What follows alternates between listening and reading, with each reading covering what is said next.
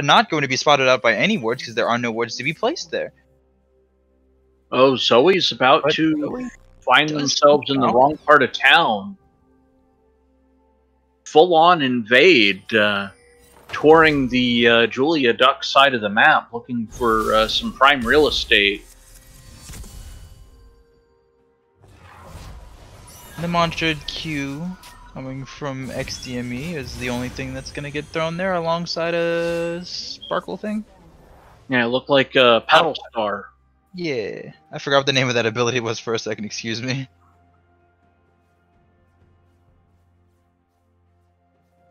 But it seems as though things are uh, really, really calm to start. To start, despite just getting the word on the blue buff and being able to see what what uh, Graves' pathing is, what random uh, random mid's pathing is. So I'm not even sure uh, Julia Duck spotted out the whole invade. Shen could have gotten a much more invasive ward in instead of settling on the river brush if that whole team knew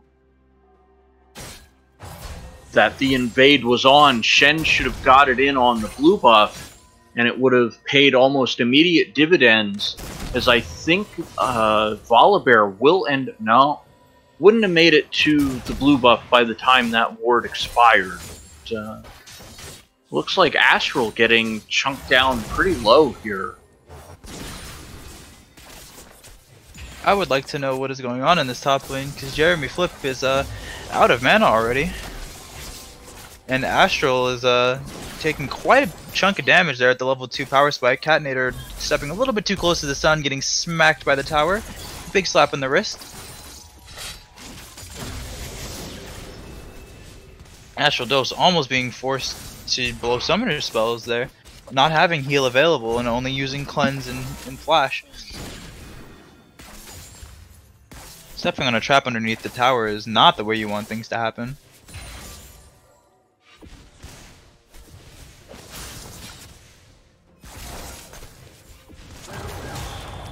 Up here in the top side of the map, it seems as though Exasperated found random mid, was able to actually smite, uh, not smite that away because it seems local.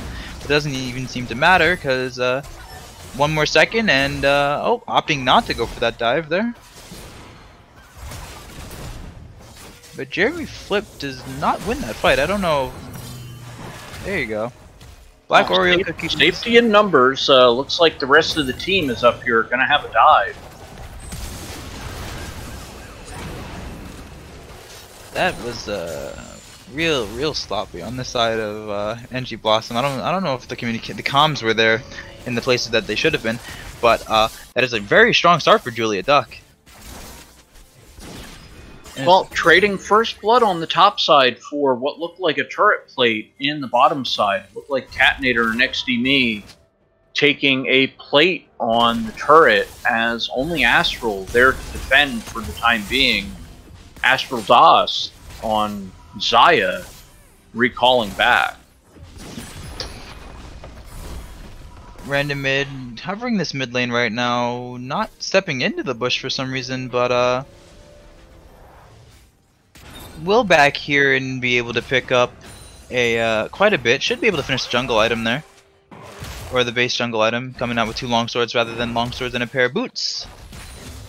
But it seems as though Jeremy Flip is back into the top lane. No teleport used, but it was able to come back with a dagger and a pair of boots. Yeah, looks like uh, one of the early components for the Trinity Force coming in for Gangplank. Uh, Shen already on the Bami's Cinder. So we see a little bit of a item advantage, although the side of uh, Catinator and XD the bot lane for NG Blossom, is actually where the gold is at. Catinator already able to purchase a BF sword when they go back, crossing that 300 or 1300 gold threshold. So this is going to be something that needs to be uh, given some attention. Catenator will have a early item advantage, it looks like, about to back.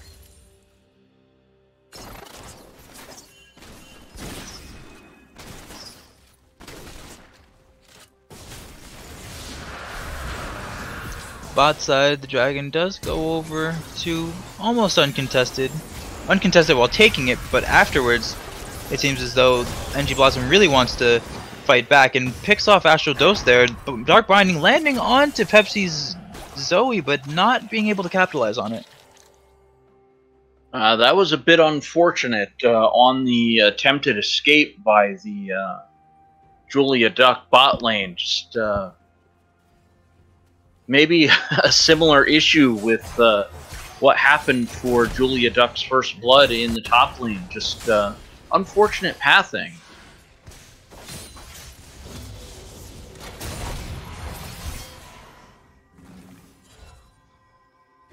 It seems as though even more is trying to happen up here in the top in the top side of the lane. Jeremy Flip easily able to uh, survive whatever gank that was coming from random mid.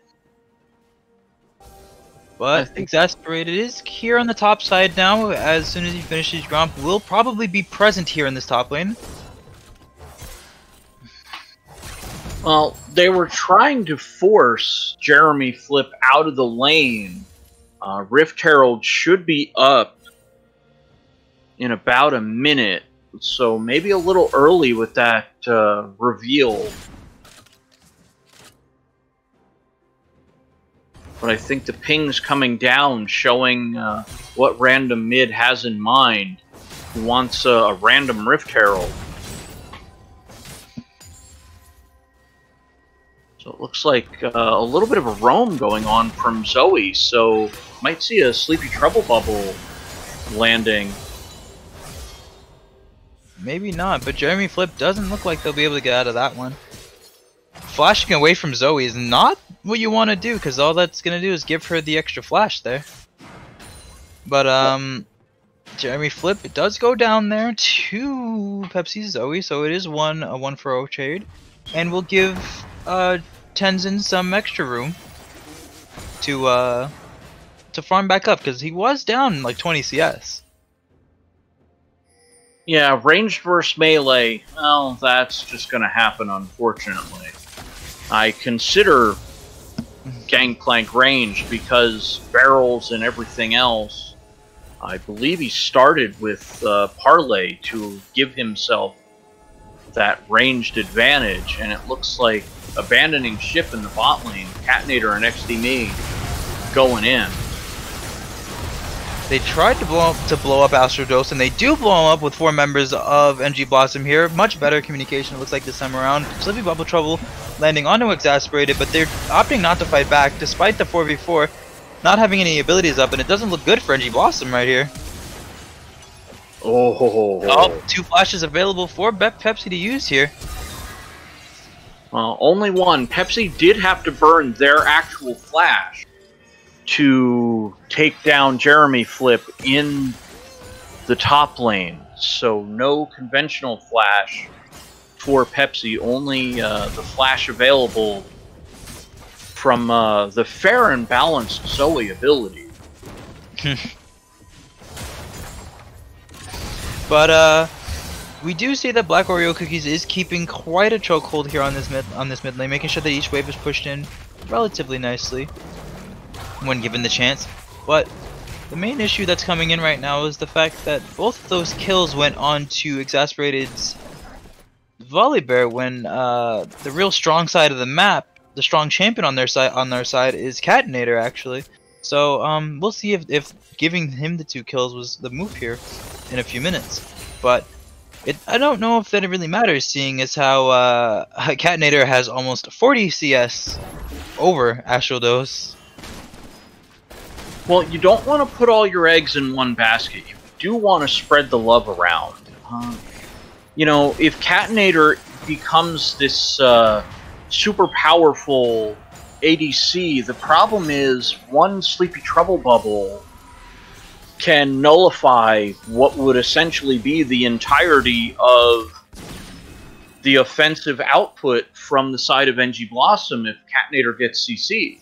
But the question is, is, is that really your your concern when you have a Morgana, not only a Morgana, but you also have a, a, a, a Karma as well, and then you've got Exasperated there in front of you? Are you really uh, that afraid of the, of the Zoe's uh, abilities? Of Zoe's Sleepy Trouble? I think so, yes, because you can only black shield one thing out of who knows what. You have to get through. If truly Tenzin can access the backline, uh, Catenator gets taunted. Uh, if Pepsi lands a Sleepy Trouble Bubble, it, it's one of many options that can end up messing with Catenator. And I can see three of them. Astral could polymorph with the Lulu.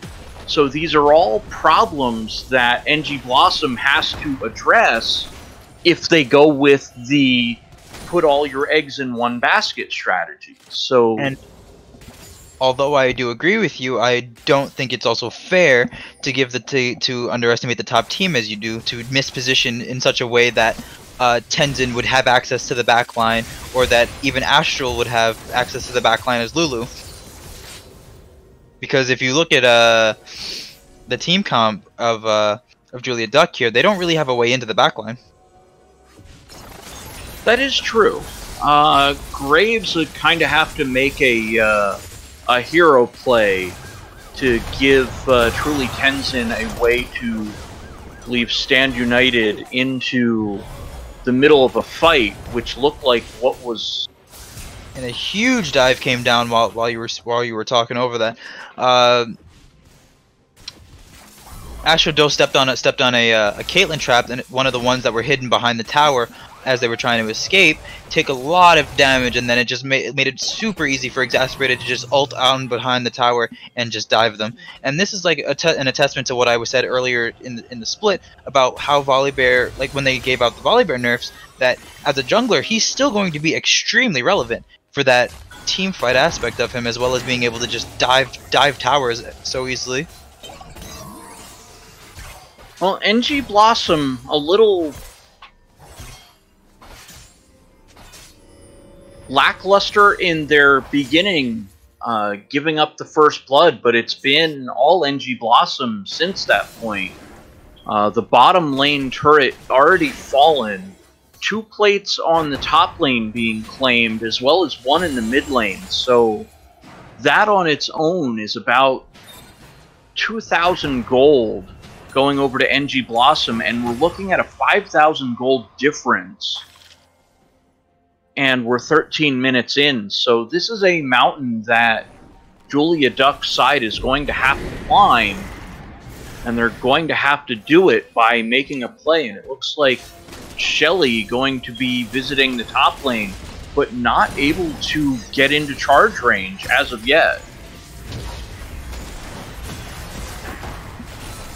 My, Black Oreo Cookies tried to hold off a little bit just by giving the teleport to force Shelly did not crash a little, a little, uh, as early as she would have normally. But the bind does land on the Astral here, and three members are here, getting instantly taunted by the hiding uh, Tenzin. But now the last two members of NG Blossom are here. A little bit of a, it looks like even more miscommunication, but the Volibear, exasperated, trying to recover what's left. Caitlyn ulti comes out, but is it, it, blocked. So it's not going to find any kills, which ends up in a one for uh, one for O, and possibly picking up the tower if they uh, continue to pressure this properly. Ultimate coming in, Stormbringer, not gonna find any success with it. Well, it looks like Astraldos is having a bit of a time in the bottom lane trying to fend off Jeremy Flip from claiming that inner turret. Uh, there was a solo kill down there to start things off, as Jeremy Flip did score a kill on Astraldos, which was then negated by the Graves kill onto Black Oreo Cookies. So a cross map one for one, I would say. So slight advantage to the side of Julia Duck as they were able to trade evenly across the map, at least over the short term, but it looks like Catenator going to be able to claim some more plates and oh my god. Another catching out random, random, mid here in the bot in the in the bottom side of the jungle. Placed very good barrels to really to really pick up the kill on him in the in the in the middle of the river. And it was a, a, a pretty skillful one if you ask me with the uh, the invisible barrel. Yeah, that was nicely done. Jeremy Flip definitely doing some work uh, early on in this game. I believe he's got the Triforce done.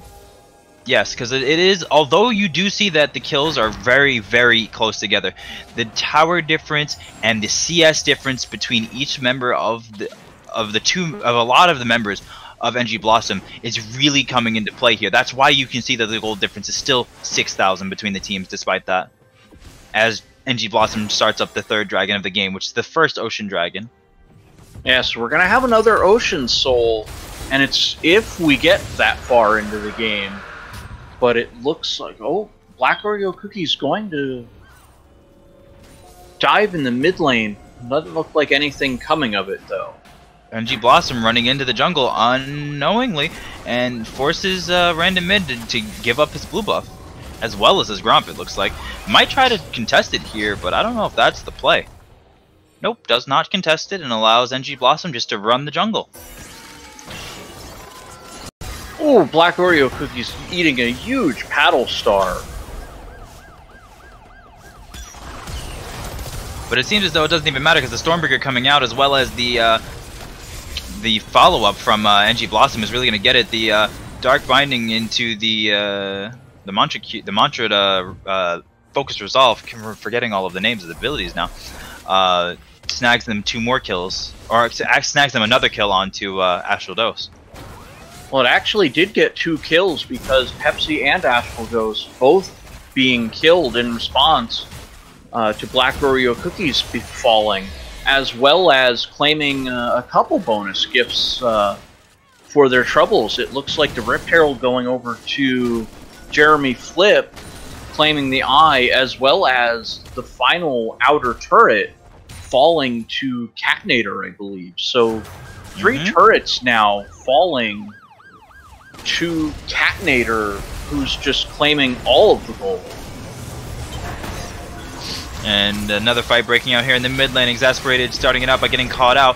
A huge paddle star la landing onto Black Oreo Cookies yet again and take him down.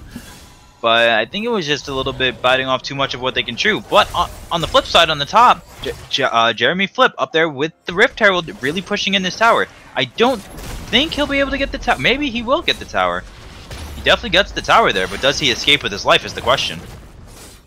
Uh, that that will definitely be the question. Uh, oh. Shelly's uh, cousin Kelly uh, falling, so let's see if Jeremy Flip can. Oh, ultimate uh, not going to be able to enable Jeremy Flip to get out of there. So an exposed inhibitor in the top lane, 18 and a half minutes in. Uh, the kills are even at seven apiece, but that's about the only thing that's even in this game. A point you brought up a couple minutes before. Look at the CS differences across the board, uh, focusing mostly on the top lane and the bottom lane. No, I guess even for the most part, relatively speaking, in the mid lane between Black Oreo Cookies and Pepsi. See, now this is just cla a classic game of like farm, of like farm difference. Because like as you can see, in, as the differences here, we've got a 70 CS difference there between the AD carries and a 50 CS difference between the top laners, and that's exactly why uh, Jeremy Flip, even without the tower gold, would still be significantly far ahead of their of their lane opponents. Oh, absolutely. Uh, I can't really offer a counterpoint except that. Uh, you know, for Julia Duck, if they can land a Paddle Star or a Sleepy Trouble Bubble, uh, Zoe seems to be the great initiator for the side of Julia Duck. We're going to have to play around the Zoe. So, a, a bit of a difficult ask, unfortunately, because the vision just isn't there even in their own jungle with the top side of the map completely open for yeah, and it's not like Tenzin really has any options as to who that they're going to ult on to. I, for some reason, starting off a fight with Jeremy Flip, I don't think that's going to work out too well for him. Well, Jeremy Flip is just trying to play the role of decoy It looks like NG Blossom trying to position for that 20 minute Baron, but it doesn't look like it's going to happen. XDME is standing there in that one brush to see in the pixel brush to see if they can spot him out. Mantra is available. Might try to uh, might opt for a mantra Q here. Another pink placed in for the for the vision control there, because that they they will uh, put a lot of uh, emphasis on that. But XDME is taken hit by the sleepy trouble bubble and taken below half even without the uh, the paddle star hitting. Yeah, this Power is Baron. Know, it's definitely something NG Blossom have to look out for. Uh, if they're not careful, Zoe's damage can be absolutely oppressive. Yes, we have the Karma Shield, we have the Morgana Black Shield, but still, you lose uh, three quarters of a life bar. A shield isn't going to help for that. Uh, looks like Joey Flip claiming a dragon, all on his lonesome. So soul point for NG Blossom, which may help negate some of this uh, Zoe burst coming in. If they can prolong the fights, these Ocean Soul, or excuse me, the Ocean Dragons, which may culminate in a soul, will help regenerate. That's going to be seven and a half percent if they're allowed to claim the third Ocean Dragon. And which is huge for them because a lot a lot of what NG Blossom is doing so far is just really abusing the power of split push. Because even though you see they have to they have to answer Jeremy Flip repeatedly over and over, they have to answer him. Well, that's the whole thing. They're trying to answer with Astral DOS, and just look at the numbers. We've got 201 CS on a gangplank, and a Xayah that's just being starved under a turret. And a, and a good fight that comes out. Jeremy Flip taking off a little bit too much, a little bit too much that he can chew, but uh, Well, he did get out of there, so at least for now, not giving over a kill as Catnator and XDME starting the Baron. That looks like they're going to abandon ship on the Baron. Looks like uh, deciding that they were not able to take it. preemptively throwing out the mantra Q XDME. But um, with the pink cord that's in the brush, they really can't like do anything about it. Catnator getting caught out in the middle of the jungle there, and taking down my random mid. Uh, Stand United is used, but not before landing a barrel on him. Oh, this could be an interesting team fight here. Asheville getting rooted, so let's see if uh, the chase is on. Cue up the Yakety Sax. And that tower might save, end up saving him. And now the Chain CC coming out from Black Oreo cookies underneath the tower. They actually might be able to turn that fight around after losing two members. Oh, beautiful stun by Truly Tenzin. So that's going to turn this back around, that turret out of there, which accounted for a lot of the damage for NG Blossom in that fight. They had no way to clear the tower and get the kills. A But little unclean, but uh, Jeremy Flip on the other side of the map just doing some work. It's like I said, as long as long as Jeremy Flip is on the other side of the map, they cannot commit to these kind of things unless they have five people. And if they ha and if they do, they have to make these fights quick, and they're not, which is giving Jeremy Flip plenty of time and even still assisting with his team with the cannon barrage. And now Astral, staying staying a little too long, is going to go down. And now and now NG Blossom is looking at the Baron. Well, as they rightfully should. Uh, Teleport Well, is every- available for Jeremy Flip in case he wants to uh, join for this. Uh, he shouldn't have to. Uh, this Baron's probably more of a bait out than anything because look at where Black Oreo Cookies is positioned. Oh, it looks like here we go. Tenzin coming in, teleport taunt. And it's like I said, it's like without the positioning, they're really struggling in this fight. But it seems as though Julia Duck really wants to come back. But I, think, yep, uh, Tenzin and Random Mid are going to go down, and they're going to turn their eyes back to the Baron yet again. With the Baron dropping down just below 2k, and nobody stepping up to contest it, that Baron is very cleanly going to head over to the side of NG Blossom. And with with Dragon Soul coming up in the next 50 seconds, that's what they're going to look towards next. Jeremy Flip does not have the teleport available, but it looks like he does want to push top lane first before meeting up with his team down there, if even opting to meet his team down there. And well, not just this.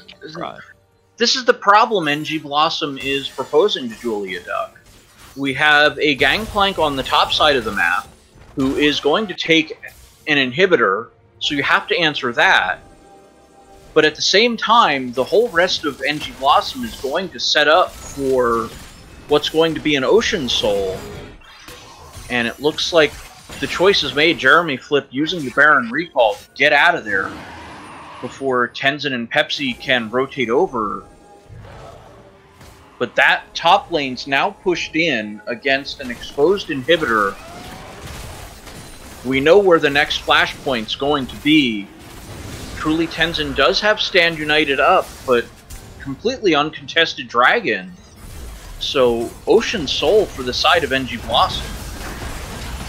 And just getting rooted by the Karma there, staying way too close and being and not really having not really respecting the fact that NG Blossom just took the dragon, just uh, calmly farming farming the jungle, and before uh, NG Blossom just walks in with the extra speed boost coming from Karma that they couldn't they, he couldn't deal with. So now random mid once again going down there, and now that NG Blossom is looking towards the mid lane, might be looking to knock the doors of these uh, two inhibitors. Three oh, inhibitors with uh, Jeremy Flip pushing bot. I was gonna say this is gonna be at least two, if not three, uh, Astral Dose just getting dumpstered again by Jeremy Flip. He got hit by a barrel, then got hit by a Q, and it took like 90% of his health, and then the finisher was the barrel, the cannon barrage since it didn't kill. But it seems like to not matter because it's just like NG Blossom completely taking over the second half here. Able to knock down two inhibitors with super minions and four, on four cannon minions right now. Really, really putting down pressure on on this base. Now oh, there's a fifth cannon minion. Yeah, this is this got ugly fast for and the, the tower's disabled. Ugh. The the I, I I can't even want this is a horror show. Please change the channel. Oh god. This this is just and one and NG Blossom remaining undefeated for the season to continue on their dominating performances to end off today. wow, no, dominating would be uh, a word I completely agree with. Uh, a little ugly at the start. Uh, I think they uh, overestimated themselves in the top lane, giving over a, the first blood kill but after that, it seemed to be all NG Blossom all the time. Uh, Jeremy Flip, 279 CS in a game that was 28 and a half minutes. So that's nine plus CS a minute. Mm-hmm. It's it's um, almost it's almost 10 CS per minute, and that is and that the 10 CS per minute is the goal in any in any game. If you're at that or above that, you are farming very very well for yourself. Yeah, sign that man up for the LCS, I say. On as far as his gangplank goes. Yeah, well, you know, you got to be able to do that on all of the all of your champions. You know, but, but if you can pull something like that off, uh, that's gonna potentially change teams' evaluation and go, um, maybe we won't give him Gangplank going forward. You know, I've not seen this team before in the limited amount of casting that I've done here, but uh, I would want to take Jeremy Flip off of that Gangplank and potentially get Catenator off of that Caitlyn as I've seen Catenator dominating on Caitlyn a couple times. So, because you know, when it comes to Catenator, we've seen Catenator perform on multiple champions. That is true, and uh, But we, sounds like uh, an intruder alarm. Somebody might be joining us here. the very person himself, Cadinator. I was talking about you. Oh, thanks. How, how are you feeling after that one? Pretty good. We were a little, not gonna lie, we are a little nervous going in, but we came through. What's to be nervous about? I thought you guys were uh, the the big the big confidence boys. Like, nah, yeah, we're not we're not losing anybody. We're going undefeated this split team. I thought what happened what happened to that vigor that you guys had like two weeks ago? People put in random players, and then there's like D1s, and we're like, ooh, are, they, are these Smurfs or are these just regular players? Uh, sounds, sounds, sounds a little scared from my perspective. I don't know. Not not not boasting the same confidence I'm used to seeing from you guys, but uh, and you guys played like it too, in my opinion. Okay. What what do you guys what do you what do you have to say about that? Like, how do you guys think you guys played that early game? That, that making some. I don't know what happened top mistakes. of the map, but bot side crushed. Bot side definitely did crush, but top side it was uh it like from from my perspective, it seemed like something was was going on there. Like you have have any insight on what happened there? No, I just Although focused on my lane. I focused on my lane early game. I I don't know what they were doing. Okay. But then coming into the to the mid to late game, how many uh like how confident were you that you were going to be able to continue to position the way that you were positioning as well as like just perform on the Caitlyn? It felt pretty good. We our comp had a lot of front line and safety for me, which is what Kayla wants, and so we had a lot of dra- and Dragon control. So mid game it was just taking con- we took control of the map and we were confident we could secure the objectives and keep our control of River. Mm-hmm. Good, good, good, good, good, good. You got any questions for him, Frico? When are you uh, gonna send be sent a repair bill for all that turret damage you did early on? Uh, did you actually take all three outer turrets? Uh, I think we did. No, you specifically. Me? Uh, I, I got bot, I got bot. mid, and I got I think I got top. Yeah, I knew you got bot and top. So once you confirmed mid, so yeah. Uh, were you worried that uh, if you got CC'd out of a fight, that your team was still going to win the f- the fights if they were to break out? Yeah, we got Jeremy Flip on our team. He's just all right, all right. So now I guess I guess the uh, final question to really give to the audience here is uh, now that you guys are 11 and 0 with uh, only five games to play and one, and one of them is still against Iron Dragons, do you still feel the same level of confidence that you guys are going to have a perfect season? yeah, easy. Better than Cloud Nine. Wait, what was that last line? Better than Cloud Nine. They lost on Better than Cloud Nine. Well, you heard it here, everybody. They're they're they're still looking to, to keep the the perfect record for the season. Sounds like Brown might need to step in.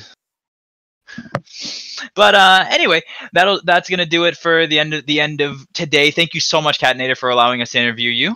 Thanks for having me. And Good luck going forward. good, mm, definitely good luck going forward. But that's gonna wrap up things here for the Ascendant League series for day one. We will see you all tomorrow. Do not forget, um, do not forget the all the All Star tournament and the and the one and the one for all one one versus one tournament. Sorry, the all. I'm I'm just messing up. all Now, I believe the that's All Star event all Star event voting. and the one v one tournament, All Star voting and registration, and the one v one, uh, and the one v one tournament that's next Friday. So remember, if you did not, uh, if you did vote already, to go in and edit your votes to make sure that they have your name on it, because if it does not have a name on it, we are not going to count it. It is very important. We did have some technical difficulties, and that is very important. But tomorrow, tomorrow, um, well, before we even get to that, I will be participating in the 1v1 tournament. So if that's a little bit more incentive for you all, then uh, feel free to come try to take me down. Um, other than that, uh, tomorrow we do have Ape Together Strong starting off the day against Iron Dragon. First game, 1 o'clock tomorrow Eastern, right here at the Ascendant League series. I'm signing off. I'm your host, Brown Anonymous, and I am Frico. I And we'll see you- that. in the next one. Have a good day, everybody.